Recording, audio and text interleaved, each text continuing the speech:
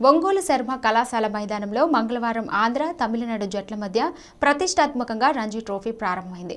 Toss గెలిచి fielding ఎంచుకున్న తమిళనాడు జట్టు తొలి రోజు ఆంధ్ర జట్టుపై ఆధిపత్యం ప్రదర్శించింది. పదునైన బ్యాటింగ్తో విరుచుకుపడిన తమిళనాడు బౌలర్లు ఆంధ్ర బ్యాట్స్మెన్లను కొద్ది పరుగులకే కట్టడి చేశాయి.